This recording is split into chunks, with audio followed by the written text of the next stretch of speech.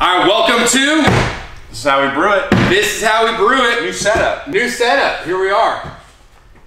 What's Where are we? We are in the warehouse. Yeah. On a weightlifting platform. What the fuck happened? yeah. Up here. Yeah. All right, so welcome to This is How We Brew It by Caffeine and Kilos.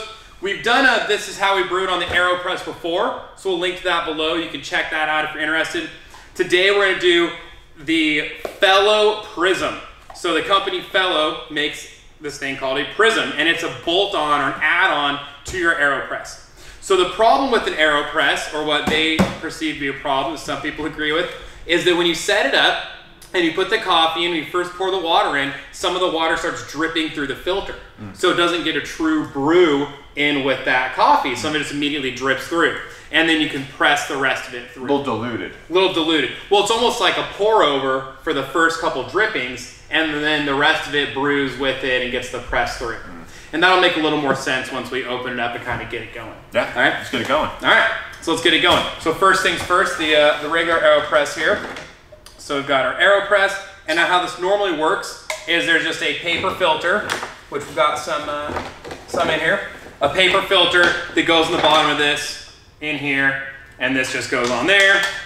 And you can put the coffee in, and some of it drips through while you're waiting for it to brew, and then you squeegee it through. Okay, waiting to brew, squeegee it through.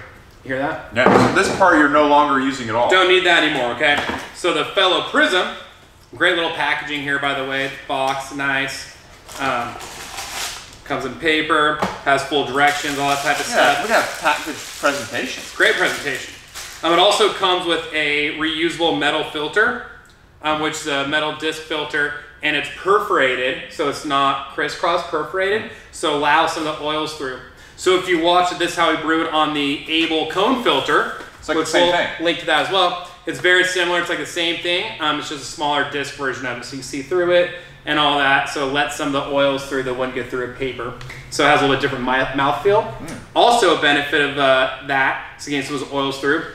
Also, if you're mixing it with things, if you're mixing it with milk or that type of thing, then it it, uh, it mashes up a little better. Like the oils kind of mix with that better. Interesting. So like more true mouthfeel. Okay. So you just put this on the bottom.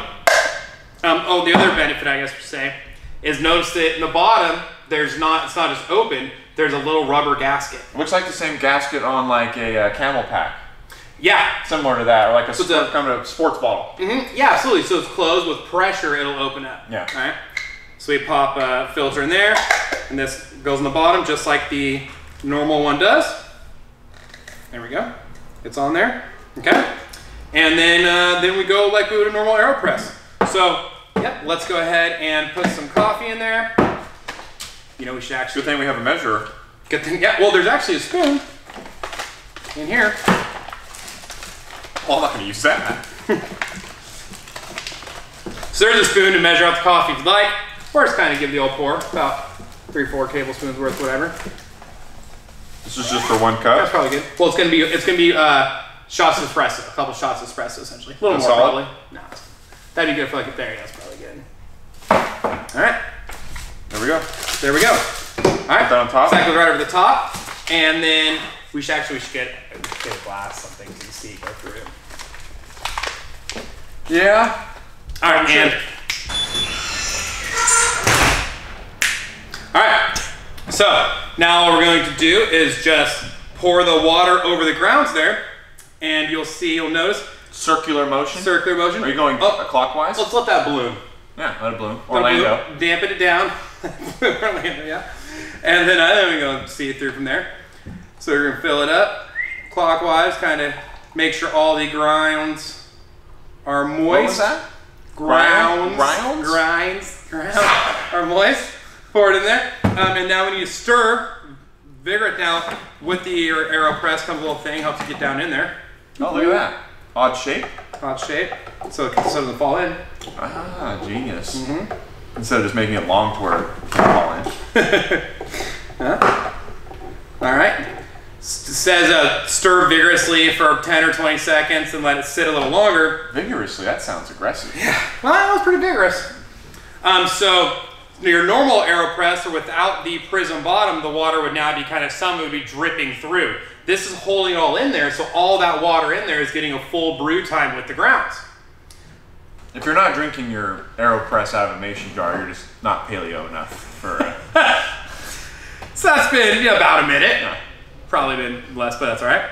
So then uh, you just give it a little press, and you can see it squirts. look at that, it's not even touching it. Not even touching. Get the air. That's aero That is press. science right there Yeah. in the works. Okay, and then push through. Uh, Now that's pretty. Uh, that's a pretty dark concentrate. it is straight. Um, there we go. It is straight. It is straight espresso, pretty much. All right. So there we go. If I can hang out in there. And now we're, we're ready to rock. So what is that guy? You just clipped it on there. It was like a What, storage. what this for actually is if you're make if you're using espresso cups. Ah. So the espresso cup can sit in there and you can still put the AeroPress and give something Ah. to push against. Nice. So, yeah. Wow. So here we go. You want to pour that in the mug or just go straight from the jar? I'll, uh, I'll go straight from the jar. Yeah. I'll fake you out. Yeah. I got everybody. Ooh, that's good. It's real good. The water cooled down a little bit, but it's okay. Smooth. Yeah, smooth. Very Alright. smooth. So personally, AeroPress is my favorite way to make coffee uh, because it, it comes out so smooth. This would be good. You can do just do this over some ice and make some quick. Uh, Absolutely. Make a quick uh, americano. Another thing about the Prismo that we didn't see as much with this one is also usually makes a pretty good crema compared to normal. I think we didn't see as much of that because the water cooled a little Yeah. bit. Um, but if you use uh, warmer water or hotter, hot water, I say, above uh, like above 205, like more of like a 210 temperature, um, then you will get a little more, a lot more crema out of the Prismo compared to out of the standard press. And that's with the you- pressure going through it. And also, if you put it maybe in a smaller container where it has less surface area to build up that crema too, like a little espresso cup. Yeah, it definitely would. Um, I usually make it in a, in a, a oh, mason jar. Now glass is about that size and it does pretty good though. So, Yeah. so there you go. So if you have an AeroPress and you're in that AeroPress lifestyle, uh, Great attachment. great attachment, bolt on. It's like own a Prelude, you got to get some pipes for that thing, right? Yeah, this is like the exhaust system for uh, It's, it's AeroPress. the exhaust system for AeroPress. That's it. Um, I think it was twenty five dollars. They're on Amazon. How much is. AeroPress? Uh, about thirty five.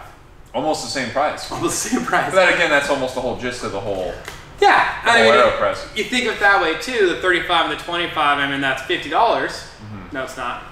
That's sixty dollars. um, but uh, sixty dollars for the best coffee you've ever had. I mean, it's pretty good. So there you go. There are definitely more expensive ways to make coffee.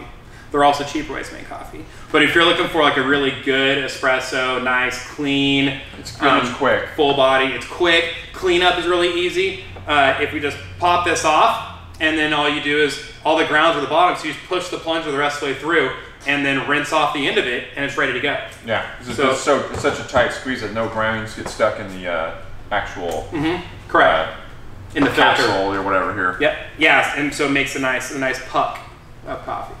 Nice little coffee puck. Coffee puck. Yeah. Stanley Cup. Stanley Cup. Stanley Cup of coffee. Stanley Brewer. All right. Thank you for joining in. This is how we brew it. Till next time. This is how we brew.